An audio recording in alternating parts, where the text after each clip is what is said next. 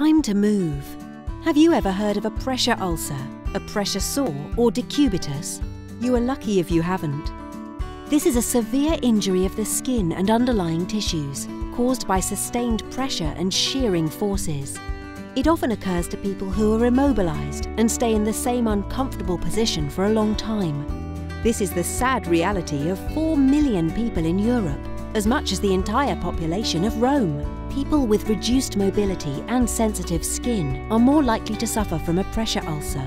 Immobile patients, wheelchair users, premature babies, elderly and chronically ill people. Is the treatment of a pressure ulcer expensive?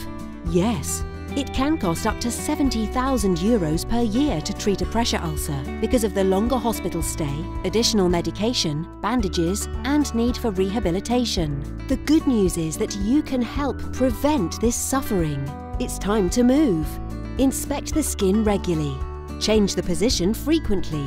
Use supporting materials. And don't forget, healthy food habits will help prevent pressure ulcers. Everyone can help prevent pressure ulcers. Help prevent pressure ulcers. Initiative by the European Pressure Ulcer Advisory Panel.